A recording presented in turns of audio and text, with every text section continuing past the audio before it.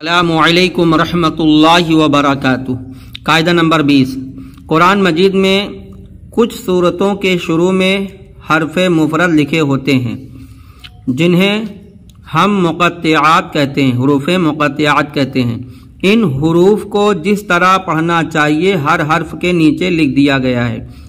तो इसे अच्छी तरह समझ लेना चाहिए, इसका हिज्जे नहीं होता। बिस्मिल्लाहिर्रहमानिर्रहीम।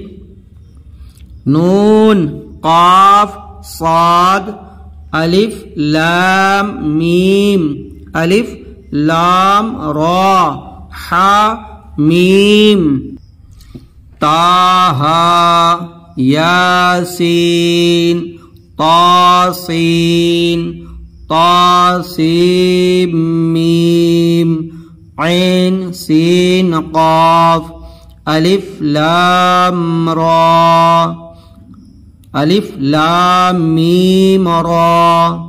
अलिफ लाम मीम साद। काफ हा या ऐन साद। यसनल कुरान का यहाँ कायदा मुकम्मल होता है।